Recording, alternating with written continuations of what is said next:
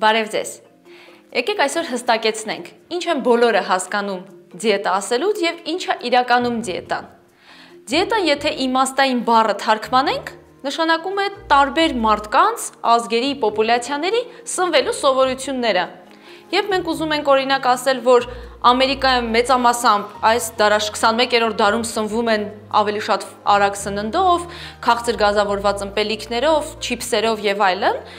մենք ասում ենք դա ընդհանուր տերմին ենք ասում, ասում ենք American American diet, ամերիկյան սննդակարգ։ Այսինքն, եթե մենք միհատ sense մտածենք դուք այսօր առավոտվանից ինչ եք կերել եւ արդեն մի տարի շարունակ դուք այդպես եք հենց սկսում ձեր օրը, դա ձեր դիետան է Դա հայերեն շատ հետաքրքիր, շատ լավ ալտերնատիվ բառ ունի, կոչվում է սննդակարգ։ Եվ այսպես հասկանում ենք, որ դիետան դա ոչ թե սննդի սահմանափակում է, այլ հենց ձեր սնվելու սովորությունը։ Սննդակարգերը շատ-շատ տարբեր են լինում, կախված իհարկե տեղամասից, աշխարհագրական դիրքից, հիվանդություններից, սովորություններից, բայց նրանց բոլորի հիմքում ընկած են միկրո եւ մակրո էլեմենտները, որոնք հենց ապահովում են մեր օրգանիզմի կենսագործունեությունը։ Որոնք են այդ էլեմենտները։ Բոլորս իհարկե լսել ենք սպիտակուցների, ճարպերի եւ ածխաջրերի մասին եւ ավելի փոքր միկրոէլեմենտների, վիտամինների մասին։ Բոլորս գիտենք դրանք ինչ են, բայց այսօր ավելի մանրամասն կհասկանանք ամեն մեկը ինչ ֆունկցիա է կատարում եւ առհասարակ ինչի համար է պետք մեր օրգանիզմին։ Հիմա եկեք հասկանանք, թե մեր օրվա էներգիայի քանի տոկոսը որ մակրոէլեմենտից պետք է ստանանք։ Օրինակ ամենամեծ տոկոսը մեզ ապահովում են ածխաջրերը եւ ածխաջրեր ուտելով 50-ից 60%-ը պետք է օրվա էներգիայի ստանանք։ 10-ից 15%-ը պետք է ստանանք սպիտակուցներից եւ մինչեւ 30%-ը պետք է ստանանք ճարպերից։ Սպիտակուցները օրգանիզմում կատարում են բիլիոնավոր կարևորագույն ֆունկցիաներ, սկսված պաշտպանողական ֆունկցիայից մինչև կառուցողական։ Հա, իմունիտետի մասին բոլորս լսել ենք, հա, իմունիտետը բարձր է, ցածր է եւ այլն։ Իմունիտետային բջիջները սպիտակուցներ են։ Արյան մակարդելության բազմաթիվ գործոններ սպիտակուցներ են։ Արյան մեջ մի նյութը մի տեղ տեղափոխողները սպիտակուցներ են մեր հենաշարժիչ համակարգը մկաններից, ոսկրերից բաղկացած, բաղկացած են սպիտակուցներից շատ կարևոր է, որpիսի սպիտակուցները ճիշտ քանակով մենք ստանանք ամեն օր։ Եվ բնականաբար համ պիտի քիչ չլինեն, համ պիտի շատ չլինեն սպիտակուցները։ Սպիտակուցները բաղկացած են ամինաթթուներից, 20 ամինաթթուներից, որոնցից 10-ը անփոխարինելի են։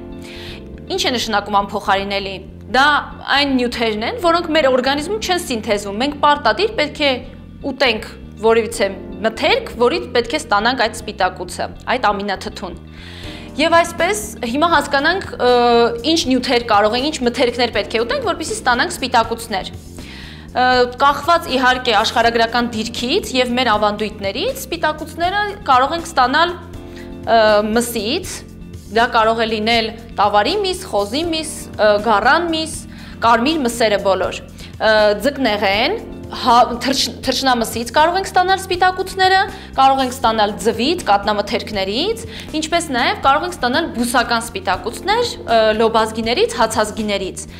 Եվ պետք է անպայման չմոռանալ, որ այս ամինաթթուները անփոխարինելի, որ ասեցի, որ մեր օրգանիզմում չեն սինթեզվում, լոբազգիներում եւ հացազգիներում տարբեր հարաբերությամբ են։ Միայն իդեալական սպիտակուց բոլոր անփոխարինելի ամինաթթուներով կարող ենք ստանալ կենթանական մթերքներից, իսկ բուսականները իրար, իրար ճիշտ պետք է համադրենք, որpիսի ստանանք իդեալական սպիտակուց։ Բուսակերների համար հատուկ հաղորդում կանենք, որpիսի հասկանանք, որ մթերքը ինչի հետ պետք է համակցեն, որpիսի իդեալական ստանանք Եվ այսպես այդ մթերքները ուտելով 10-ից 15% էներգիան պետք է օրվա ընթացքում ստանանք։ Եթե օրինակ իմ հաշվարկով անենք, իմ օրգանիզմին ինչքան է այսօրվա համար պետք սպիտակուց ստանալ, 1700 կիլոկալորիայի համար մոտ ավրապես 200-ից 250 գրամ միս ես պետք է ուտեմ, որpիսի այս պահանջը կարողանամ բավարարել։ Ածխաջրերը դրանք մեր օրգանիզմի հիմնական էներգիա տվող մասնիկներն են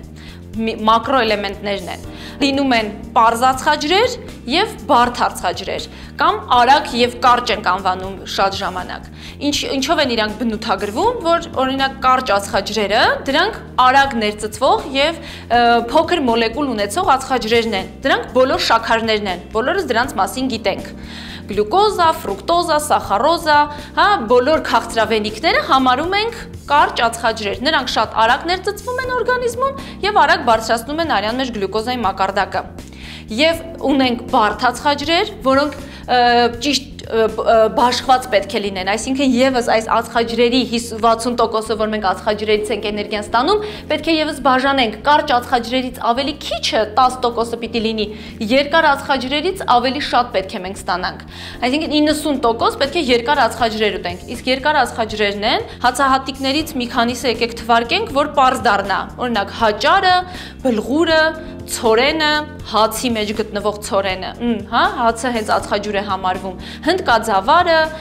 լոբ ազգիների մեջ եւս կան ածխաջրեր, հա, միրգ բանջարեղենի մեջ կան ածխաջրեր։ Հա, այստեղ իմիջիալոց կարող եք մի հատ ընդգծենք, որ մրգերը դրանք կարճ ածխաջրեր են եւ արագ ներծծվող են եւ բանջարեղենները երկար ածխաջրեր են։ Ինչպես նաև ածխաջրեր են բանջարեղենում եւ մրգերում գտնվող հացազգիներում գտնվող բջջան նյութը, որը առհասարակ չի ներծծվում եւ շատ կարեւոր է մեր օրգանիզմի ճիշտ կենսագործունեության համար։ Սա մոտավորապես էլի հասկացանք ինչ մթերքներ պետք է ուտենք, որպեսզի մեր ածխաջրերի քանակ ածխաջրերի ստացած էներգիայի պահանջը բավարարենք։ Եվ մյուս մակրոէլեմենտը դա ճարպերն են։ Ճարպերը երկրորդ ամենակարևոր էներգիայի աղբյուրն են մարդու համար եւ իրենց եւս բաժանում ենք, այսպես ասած, վատ եւ լավ ճարպերի։ Լավ ճարպերը ստանում ենք օրինակ բուսական մթերքներից, այնտեղ ենք ուզեղենից, բուսական ձեթերից, ձկան մսից ենք ստանում, դա եւս համարվում է լավ ճարպ, ավոկադոից ենք ստանում վերջերս շատ մոդա եկած այս մթերքը, Հայաստան եկած այսպես ասած այս մթերքից ենք ստանում եւ ավելի վատ ավելի վատ ճարպեր, որոնք որ կենթանական ճարպերից են կամ կենթանական բնույթ են կրում։ Եվ կան շատ ավելի վատ ճարպեր, որոնցից շատ հեռու պետք է մնալ, դրանք տրանս ճարպերն են, Դրանց մասին եւս առանձին հաղորդման ժամանակ կպատմեմ մանրամասը։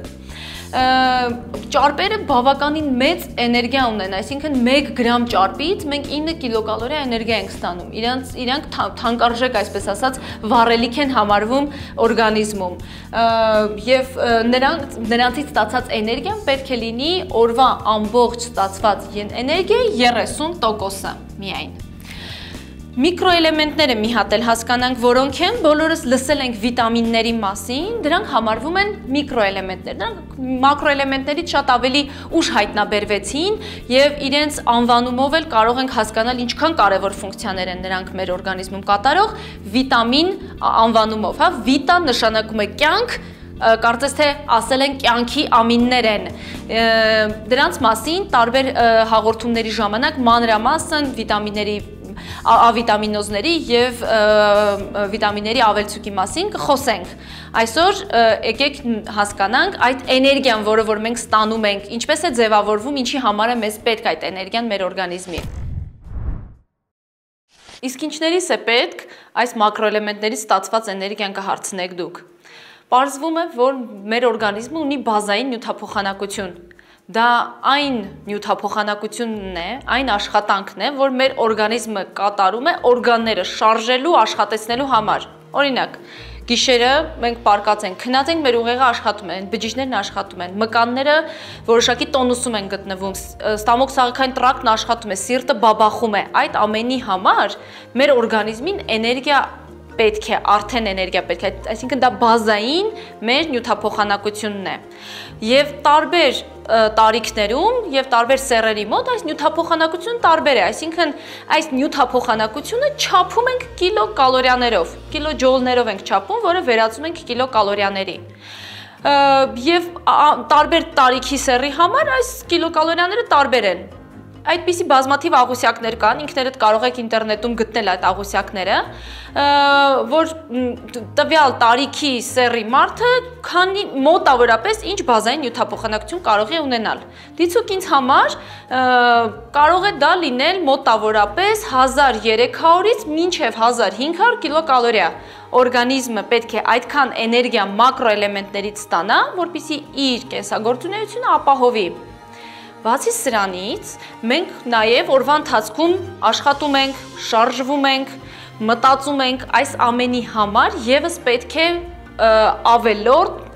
կիլոկալորիաներ ստանալ։ Ամեն մի գործողություն, ամեն մի շարժում իր ծախսած էներգիան ունեն։ Այսինքն բազային, եթե ուզում ենք հասկանալ մեր ամբողջ օրվա համար մեզ ինչ էներգիա, ինչ կիլոկալորիա է սնունդ է պետք, պետք է բազային նյութափոխանակությունը գումարենք մեր ամբողջ շարժումներն ու աշխատանքը։ Եկեք մոտավորապես մի հատ հաշվարկ անենք։ 1300 կիլոկալորիա իմ բազային նյութափոխանակությունն էր, Ես օրվա ընթացքում 8 ժամ նստա, նստած աշխատեցի, որը մոտավորապես 1 ժամ օֆիսային նստած աշխատանքը 40-ից 50 կիլոկալորիա է ծախսում։ Ես երեկոյան գնացի 1 ժամ վազելու եւ տան աշխատանք կատարեցի 1-2 ժամ։ Սա մոտավորապես իրար հետ որ հաշվենք կլինի, որ այդ 1300-ին պետք է գումարեմ 500-ից 600 կիլոկալորիա։ Այսինքն ես օրվա ընթացքում պետք է ուտեմ 1007-ից 1800 կիլոկալորիա, որբիսի իմ օրգանիզմի կենսագործունեության շարժումների համար ստանամ էներգիա, ոչ ավել, ոչ պակաս։ Եթե ես այս ծախսած էներգիայից ավել կերա, պետք է 1.5 ժամ, 2 ժամ քայլեմ, որpիսի կարողանամ ծախսել։ Եթե ես այս քայլք, այս շարժումը, այս ֆիզիկական ակտիվությունը չեմ անում, իմ ավել ստացած էներգիան կուտակվում է որպես ավելորդ ճարպ։ Այսինքն էներգիան ոչ միտեղ մեր օրգանիզմում չի կորչում, այն ուղակի կուտակվում է մեզ մոտ որպես դեպոյավորվում է որպես ճարպ։ Այսպիսով ամփոփենք. դիետան կամ սննդակարգը դա սննդի կրճատումը չէ, դա սահմանափակ սնվելը չէ։